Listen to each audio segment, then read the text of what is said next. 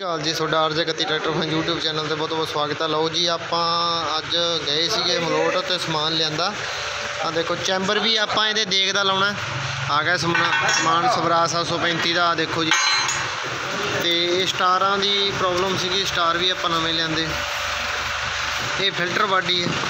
ਇਹ ਨਵੇਂ ਮਾਡਲ ਦੀਆਂ ਲਿੰਕਾਂ ਵਾਲਾ ਸਿਸਟਮ ਠੀਕ ਹੈ, ਜਿਹੜੇ ਅੱਜ ਕੱਲ੍ਹ ਨਵੇਂ ਮਾਡਲਾਂ ਦੇ ਹੁੰਦੇ ਆ। ਤੇ 에ਅਰ ਫਿਲਟਰ ਲਾਉਣਾ ਆਪਾਂ ਸੁੱਕਾ ਜੌਨੀਅਰ ਦਾ।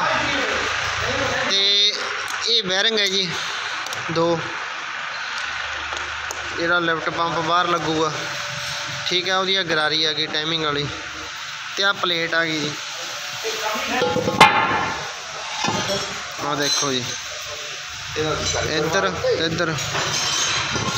ਦੋਨੇ ਪਾਸੇ ਸਰਾਖ ਹੈ।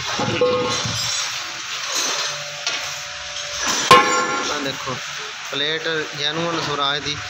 ਇਹਦਾ ਕ੍ਰਾਊਨ ਪਿਨੀਅਨ ਵੀ ਖਰਾਬ ਸੀਗਾ ਤੇ ਥੋੜਾ ਜਿਹਾ ਨਾ ਟਰੈਕਟਰ ਸੀਗਾ ਲੋ ਸਪੀਡ ਇਹਦੇ ਥੋੜੇ ਜਿਹੇ ਆਪਾਂ ਚੱਕਰ ਵੀ ਵਧਾਏ ਆ। ਆ ਦੇਖੋ ਕ੍ਰਾਊਨ ਤੇ ਪਿਨੀਅਨ ਇਹ ਵੀ ਲਿਆਂਦਾ। ਇਹਦਾ ਥੋੜਾ ਜਿਹਾ ਸਪੀਡ ਸਲੋ ਸੀਗੀ ਰੋਡ ਸਪੀਡ ਸਲੋ ਸੀਗੀ। ਤੇ ਹੁਣ ਸਪੀਡ ਹੋ ਜੂਗੀ 50 ਪਲੱਸ 45 ਪਲੱਸ 50 55 50 55 ਹੋ ਜੂਗੀ। ਠੀਕ ਹੈ ਜੀ ਸਪੀਡ ਥੋੜੀ ਜਿਹੀ ਘੱਟ ਸੀ ਆ ਦੇਖੋ ਜੀ ਸਟਾਰ ਲਿਆਂਦੇ ਨਵੇਂ ਸਟਾਰ ਥੋੜੇ ਜਿਹੇ ਖਰਾਬ ਸੀ ਉਹ ਪਏ ਆ ਫਿਲਟਰ ਬਾਡੀ ਆ ਗਿਆ ਗੁੱਲ ਪਿਨੀਅਨ ਵੀ ਬਦਲੇ ਆ ਦੋਨੇ ਗੁੱਲ ਪਿਨੀਅਨ ਆ ਪਏ ਠੀਕ ਹੈ ਜੀ ਵੀਡੀਓ ਵਧੀਆ ਲੱਗਦੀ ਲਾਈਕ ਸ਼ੇਅਰ ਆ ਦੇਖੋ ਸਮਾਨ ਸਾਰਾ ਆਪਾਂ ਪੈਪਾਂ ਵੀ ਦਿਖਾਉਣੇ ਆ ਪੈਪਾਂ ਵੀ ਲਿਆਂਦੀਆਂ ਆ